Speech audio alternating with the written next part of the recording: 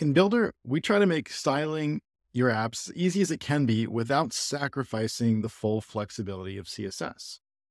But we've still given it to you in a very no code friendly way that anyone can understand, especially with just a little bit of practice.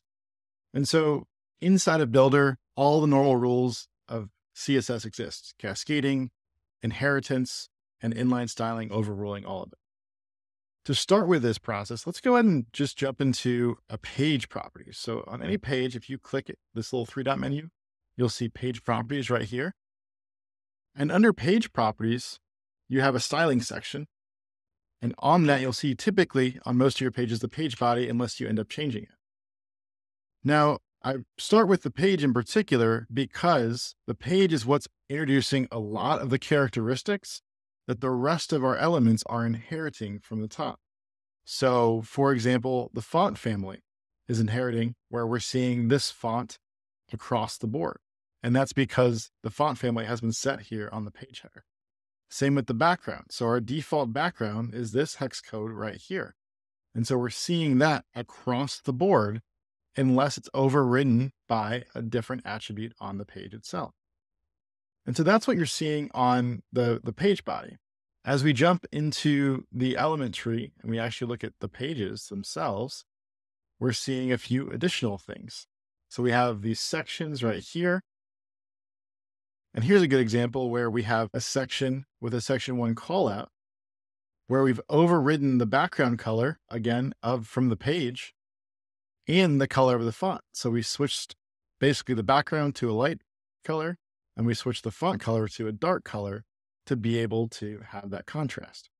And as you can tell again here, we're setting these parameters not on the text itself. So I didn't say, hey, on this element right here, I want your text to show up this color. I did it on the section itself to influence all of the things that were nested beneath it inside of the element tree.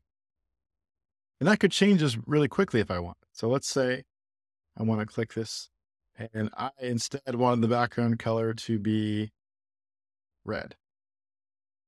You can see it change red immediately there in the studio.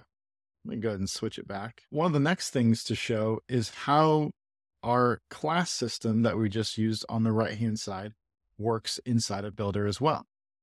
So let's go ahead and click on the sign up for early access button for me to show you a few things about classes. In Bildr, we've created a system to help you organize your style classes without taking away your ability to have that overriding style class effect that is used frequently in scaled applications to keep you organized. So in Bildr, we have what's called a primary style class.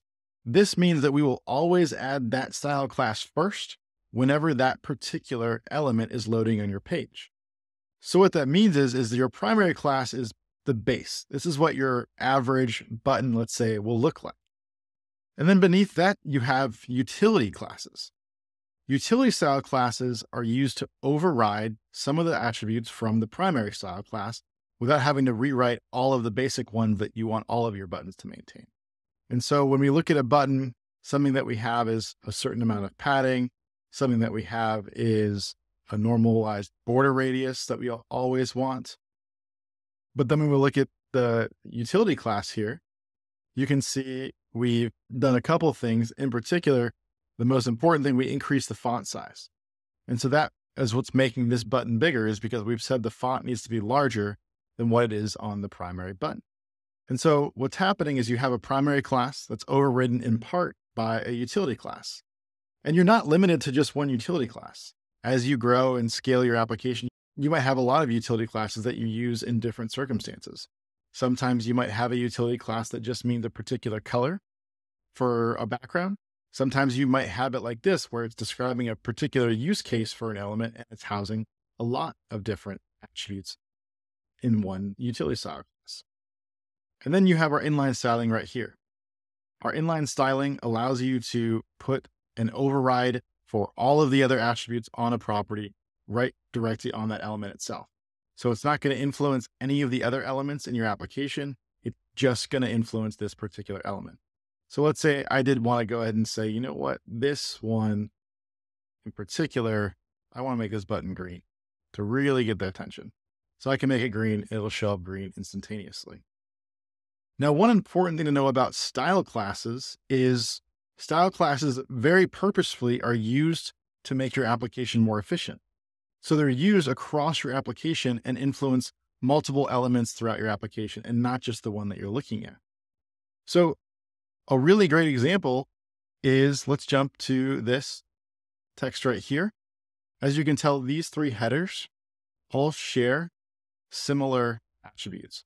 And so if we look closer at it, they are all heading, but they all have a heading H3 tag attached to it.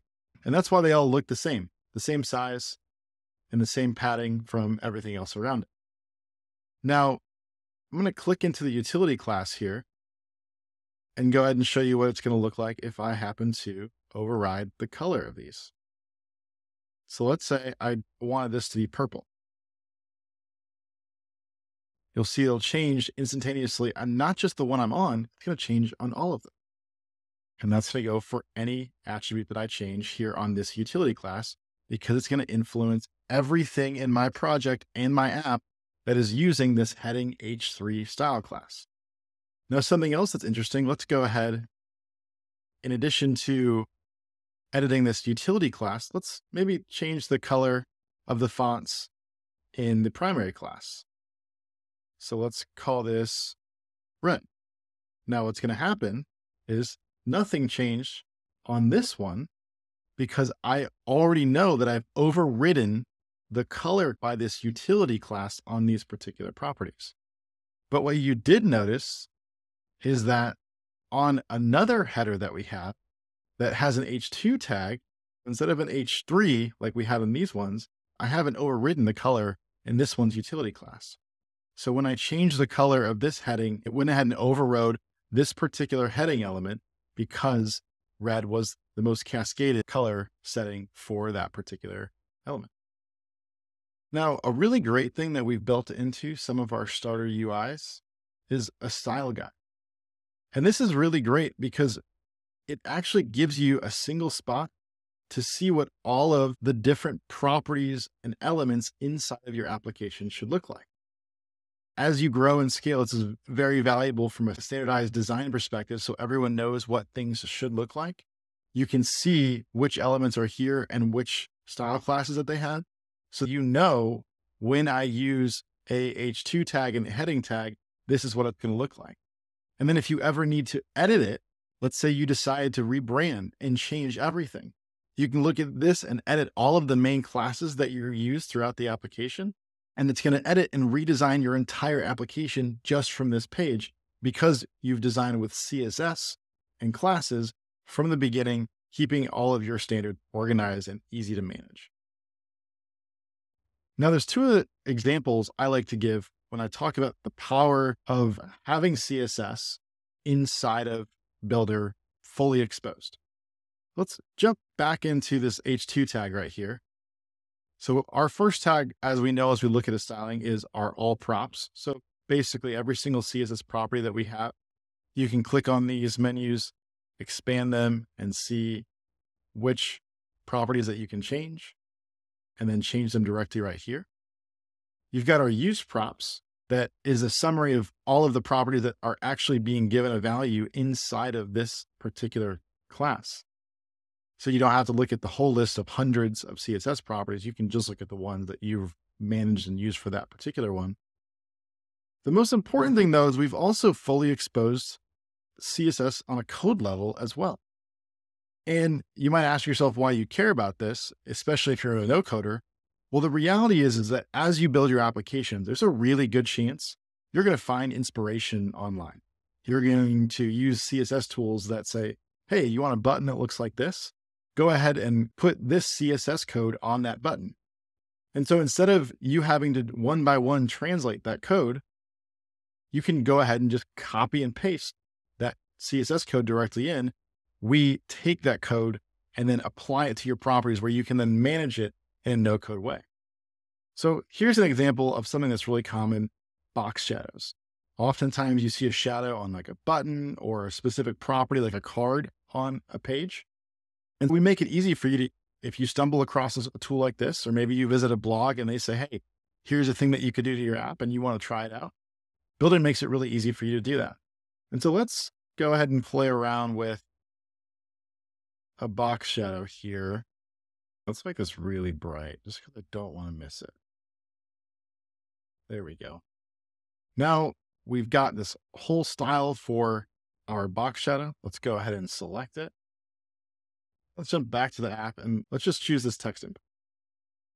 If I wanted to apply all of the styles that I just made with that CSS tool or anywhere else across the web I found, I can just click the CSS, hit save changes, and instantly it's going to apply it directly to that property. So CSS is really valuable to be able to copy and paste code in and share code from in the format of raw CSS code. Now, one of the best examples we have is ChatGPT recently has made it really awesome to, to make finding answers to questions like, hey, how should I style this button? Or if I want this button to do this, what should I do? So let's go ahead and just say, hey, ChatGPT, can you make me a colorful button with rainbow background and a fun box shadow? So I, I use the rainbow example in particular because one of the things that you will do in CSS, if you want to have a gradient or something, you have different CSS attributes that make that possible, like a linear gradient. And then you actually clarify the colors that you want in a unique way. And so at this point, ChatGPT, it's writing out all the details for us right now.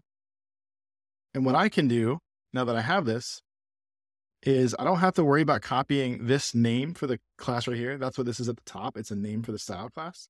I can just copy this information in the middle, jump right back over to my Bildr project and paste this in and hit save changes.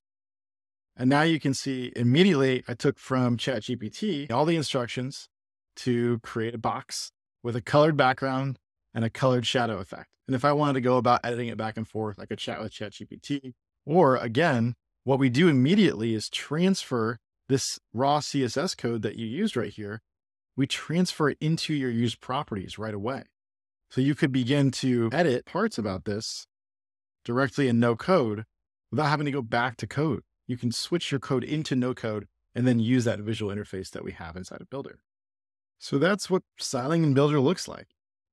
You're able to edit things in no code, incorporate full CSS code from anywhere on the web, and you're able to consistently use the same cascading structure CSS is known for.